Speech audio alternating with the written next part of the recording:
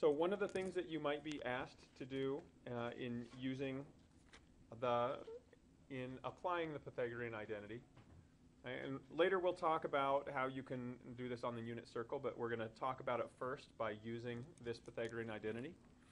And that is, if I give you this problem here,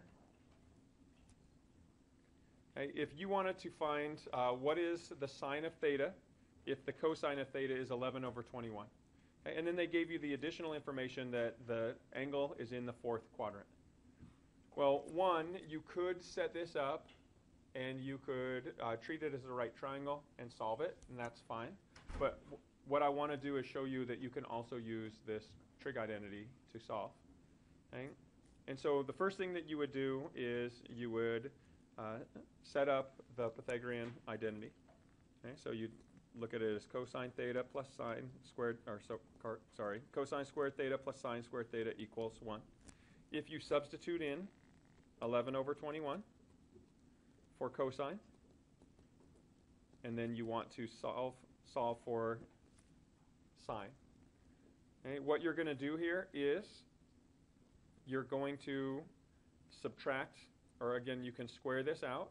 So you get 121 over, and I'm just going to leave this as 21 squared. You can write it out uh, if you want, but I'm going to leave it as it is. And then what I'm going to do is I'm going to um, write my 1 as a fraction using that same denominator. So I'm actually am going to write this out, or expand this out. Okay, so I'm going to find uh, 21 squared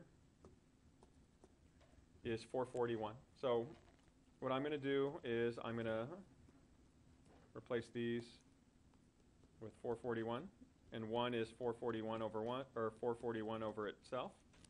And so if I subtract 121 from both sides, or 121 over 441 from both sides, I get sine squared theta is equal to, and I can combine my terms here.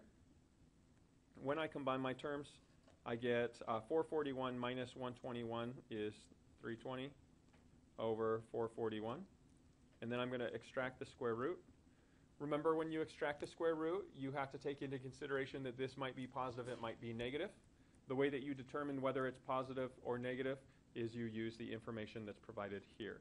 Okay, so when I solve this, sine theta is equal to, again, it's either going to be plus or minus the square root of 320 over, I knew that the square root of 441 is going to go back to the 21. You can look for any perfect square factors that you can remove from 320. Uh, you can build it um, from the ground up if you don't have the calculator, but here we're going to use just our calculator. We'll take square root of 320. We get 8 root 5. So 8 root 5 over 21 is our sine. And now it's either going to be positive or negative. The way that we can determine whether it is positive or negative is if we use this information. If theta is in the fourth quadrant, so down here, is our sine value positive or negative?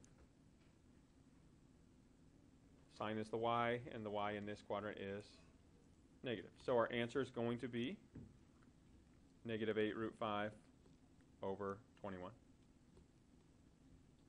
And that would be your answer. You're writing it as a reduced radical, so this is the form that you need to enter it in. It's not the decimal form. Right, I want you to try the same thing with this second problem. Okay, see if you can identify what the cosine theta would be if theta is in the second quadrant.